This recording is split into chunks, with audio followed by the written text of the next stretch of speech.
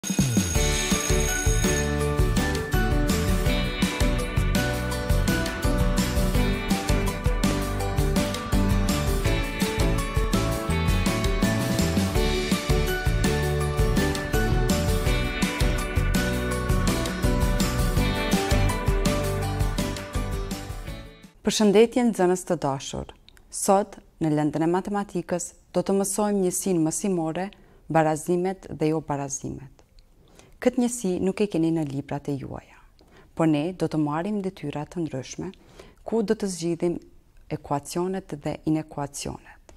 Fillimisht, rikujtojmë barazimet dhe jobarazimet.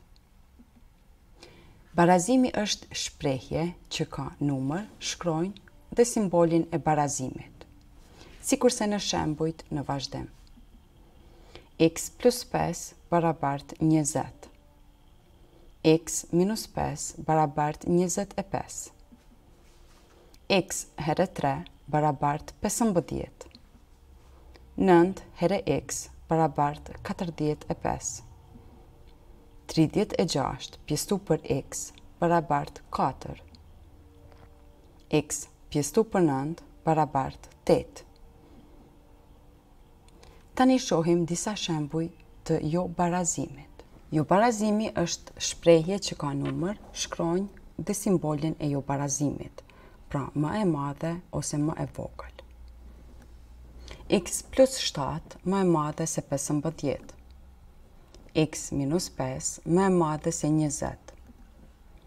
X herë shtatë më e madhe se pesëmbëdhjetë. X pjestu për tetë më e vogël se shtatë. Gjashtë herë X më e vogël se katërdhjetë e dy.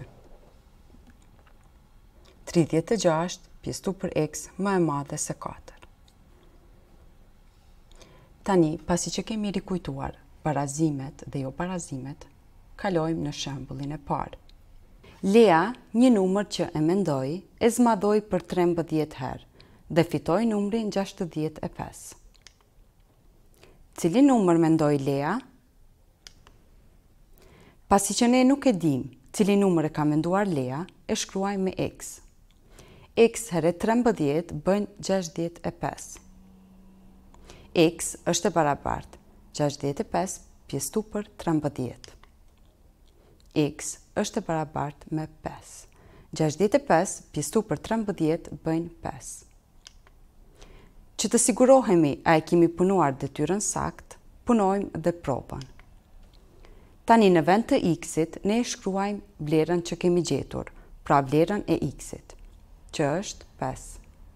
5 herë 13 është e barabartë me 65. Pra Lea ka menduar numrin pesë. Në ditën tjetër, numrin që mendoi Lea e rriti për dymbëdhjetë dhe fitoi numrin tridhjetë.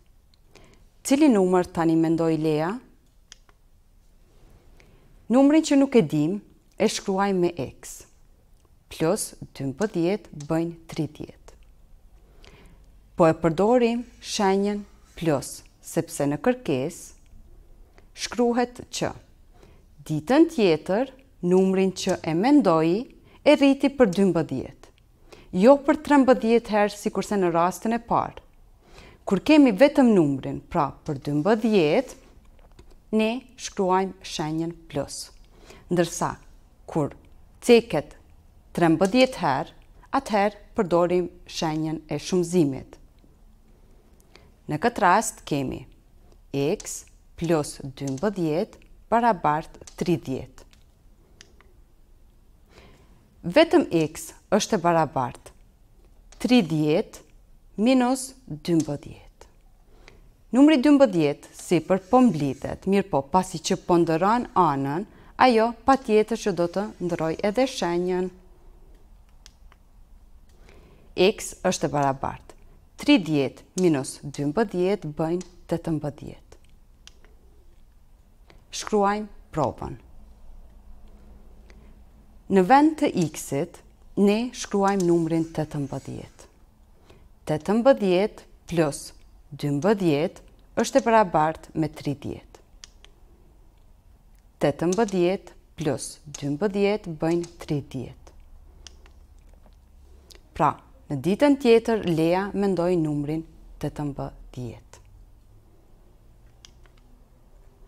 Kalojmë në shembullin e dytë.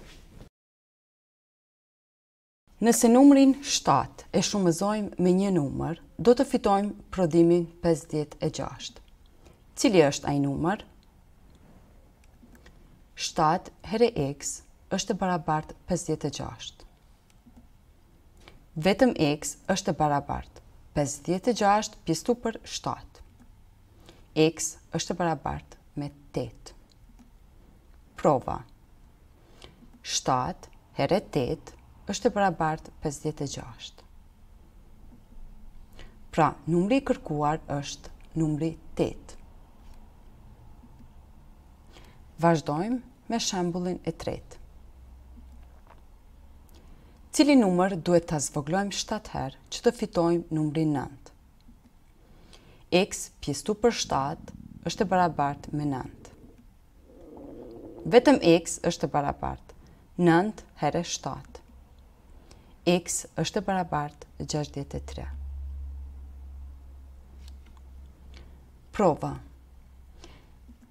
Gjashtëdhjetë e tre pjesëtu për shtatë është e barabartë me nëntë.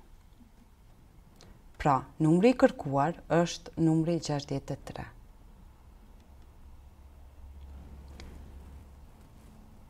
Me cili numër duhet pjesëtuar numrin tridhjetë e gjashtë që të fitohet numri katër? Tridhjetë e gjashtë pjesëtu për x është e barabartë me katër. Sepse ne nuk e dimë me cilin numër po pjesëtohet numri tridhjetë e gjashtë, andaj e shkruajmë x. x është e barabartë tridhjetë e gjashtë pjesëtu për katër. D.m.th. x është e barabartë me nëntë.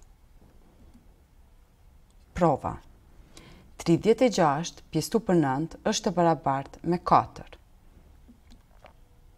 Pra, numri i kërkuar është numri nëntë.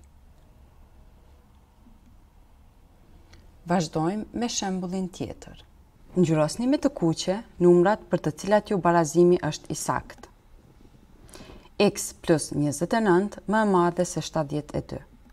Vlerat e X-it janë këto, katërdhjetë, katërdhjetë e një, katërdhjetë e katër dhe katërdhjetë e gjashtë. Ne fillojmë me numrin katërdhjetë. Në vend të x-it shkruajmë 40. Vazhdojmë, plus 29 më e madhe se 72. Katërdhjetë plus njëzet e nëntë bëjnë gjashtëdhjetë e nëntë. Dhe numri gjashtëdhjetë e nëntë a është më i madh se shtatëdhjetë e dy? Jo pra, është më i vogël. Andaj, edhe ky jobarazim është i pasaktë. Vazhdojmë tani marrim numrin 41. 41 plus 29 më e madhe se 72. Katërdhjetë e një plus njëzet e nëntë bëjnë shtatëdhjetë. Numri shtatëdhjetë e dimë që është më i vogël se numri shtatëdhjetë e dy. Andaj edhe ky jobarazim është i pasaktë.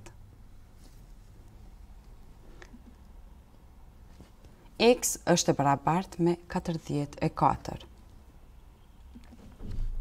Katërdhjetë e katër plus njëzet e nëntë më e madhe se shtatëdhjetë e dy. Katërdhjetë e katër plus njëzet e nëntë bëjnë shtatëdhjetë e tre. Dhe numri shtatëdhjetë e tre a është më i madh se shtatëdhjetë e dy?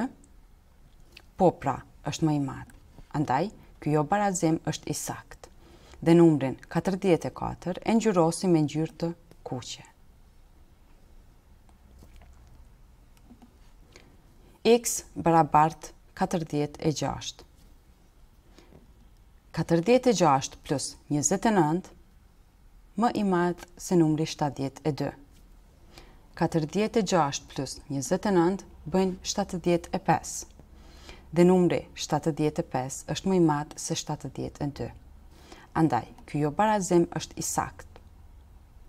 Dhe numrin 46 e ngjyrosim me ngjyrë të kuqe. Nxënës, për detyrë shtëpie, ju keni për të qarkuar me ngjyrë të kuqe numrat për të cilat jobarazimi është i saktë.